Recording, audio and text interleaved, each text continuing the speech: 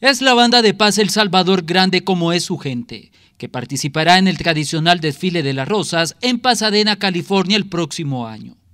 Los jóvenes quienes se han preparado por muchos meses recibieron por parte de la presidenta de este desfile las acreditaciones oficiales para su participación. Esta banda representa El Salvador y va a representar El Salvador en el desfile. Antes del desfile hay un Band Fest, que es un festival el 30 de diciembre. Ahí van a estar también 20 minutos de un show. Todas las bandas van a hacer un show, empezando el 29 y dos shows de 30. Ellos van a estar en el show de la mañana en Pasadena City College.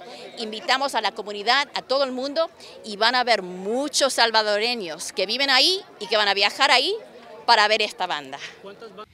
Enot Rubio, presidente ejecutivo del Comité Salvadoreño El Pichi y quien impulsa la participación de los jóvenes, dijo estar comprometido con la banda para que brinde el mejor espectáculo.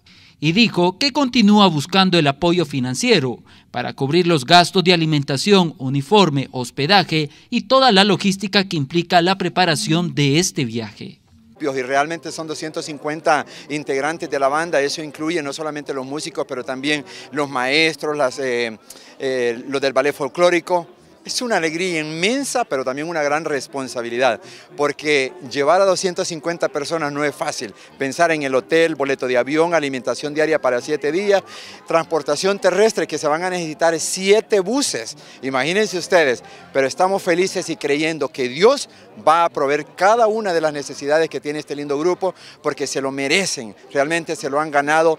Todo lo que ellos han pasado estos dos años no ha sido nada fácil. Han tenido que estar bajo el sol, pero también bajo la lluvia.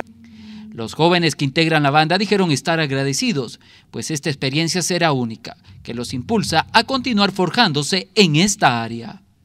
Y preparándonos fuerte para seguir más adelante y demostrar lo que tiene el país y lo que tenemos nosotros los jóvenes. Es algo muy hermoso tener esta actividad presente para la banda, es un honor para nosotros representar a El Salvador en los Estados Unidos.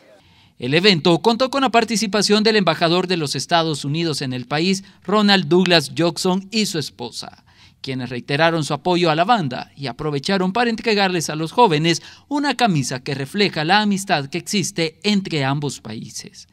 Este es un informe para Noticiero Hechos de Ernesto Cornejo.